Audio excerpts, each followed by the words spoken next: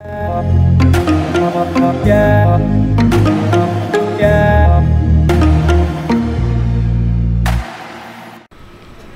up guys, we are back again today with another video on the Gladiator.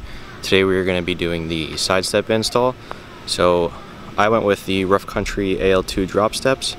Um, my choices basically came down to two different ones, both from Rough Country. Um, if you guys know Jeeps, there's a lot of options out there.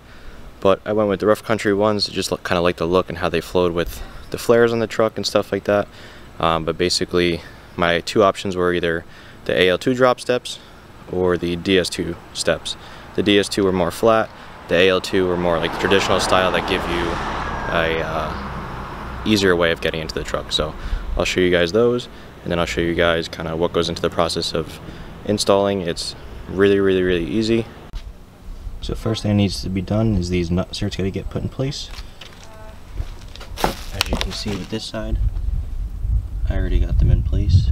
They just slide behind these little pieces here. So, just like this, where the edges go up and down. Takes a little bit of maneuvering, but they get into place eventually. But I'm going to do that on both sides, and then I'll show you guys bolting it onto the truck. Here's the side step itself.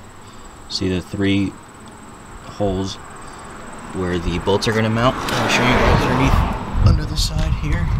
There's one in the front here, one right here, and then there's one in the back over here. And then the nutserts that were put in are going to go behind the pinch weld and that's where the other bolts will go in. There's two different size bolts. These longer ones are going to be used for the holes in the body and then the shorter ones are going to be used for the nut inserts. Install, just make sure the thicker side of the nutsert is towards the back and this slot right here is where it's going to slide into the pinch weld. So the first side is done. Here is the one spot where it goes into the body and then there are two areas. Oh that's going to be hard for me to show you, but where the nutserts are is basically on either side of that. And then there's this other spot where it goes into the body and then same thing down there where it goes into the body and the two nutserts. Let me show you guys what it looks like from outside the car.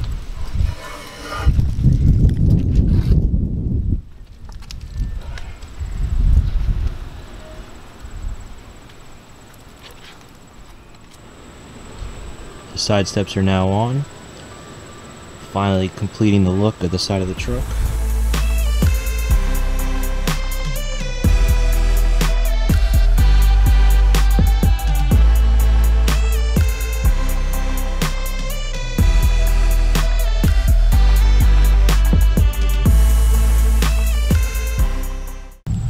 So that's it for today. Rough Country AL2 drop step install. Uh, really, really easy, like I said. Just the three bolts that I had showed you guys that go into the body. And then the four nut inserts, which go right through the pinch weld. And the step slides right in between the pinch weld on either side. Once it's in place, super easy. Just bolt everything in. Uh, definitely a two-person job. Uh, one person on each side just to hold it, get the bolts secure, and then once the bolts are secure onto the body, everything else is easy. They look great. They're all aluminum, so shouldn't have to worry about rusting and stuff. Uh, they seem pretty durable. I probably won't really go crazy doing off-road stuff with this thing, but you know, if, if I had to, I think it'll hold up pretty well. And uh, they look great, in my opinion, so thank you guys for watching. Stay tuned for more, and got a couple more things that'll be going on the Gladiator and I'll show you guys kind of current state for now until maybe decide to do some more stuff in the future but stay tuned for the next one and see you guys later